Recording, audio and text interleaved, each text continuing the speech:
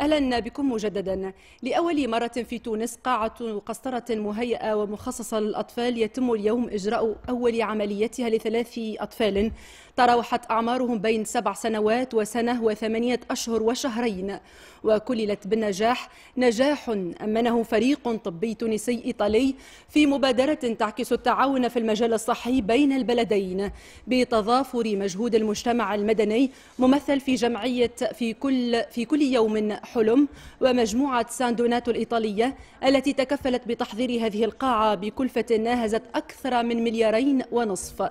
مبادرة يسعى القائمون عليها إلى ضمان نجاح التدخل الجراحي للأطفال ممن يعانون إشكاليات في القلب بتقنية متطورة وفي أسرع وقت ممكن كما ستساهم هذه القاعة في الحد من طول الانتظار لدى الأطفال من خلال قاعة خاصة بهم.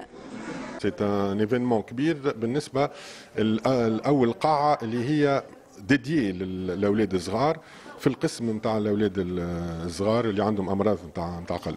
الحاجة الثانية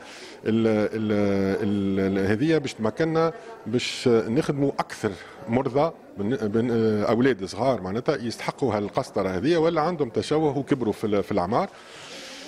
فما ثلاثة صغار اليوم الصباح باش يعملهم آه، خبير آه، عالمي معناتها من من إيطاليا.